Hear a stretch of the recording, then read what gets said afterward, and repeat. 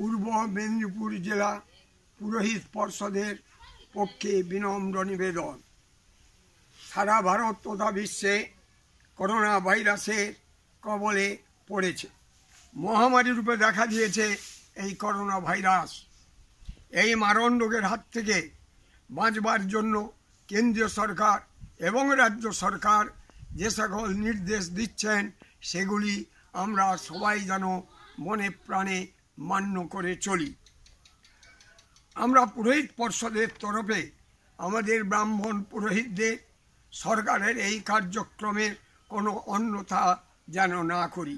সেই সঙ্গে সকল ব্রাহ্মণ পুরোহিতদের অনুরোধ করছি, আগামী বুধবার সকাল সাতটায় নিজ নিজ ক্ষেত্রে সর্বশ্রেণীর মানুষের কল্যাণ কামনায় একশো আটবার বিষ্ণু নাম ও দুর্গা দুর্গতি নাশিনী এই নামটি জপ করবার জন্যে অনুরোধ করছি। সর্বে সুখিন ভবন্তু, সর্বে সন্তু নিরাময়। আমরা সরকারের নির্দেশ অনুযায়ী প্রত্যেকেই যেন আমাদের দূরত্ব রেখে আমরা চলি, সবাইকে মেনে চলবার জন্যে আমরা যেন অনুরোধ করি।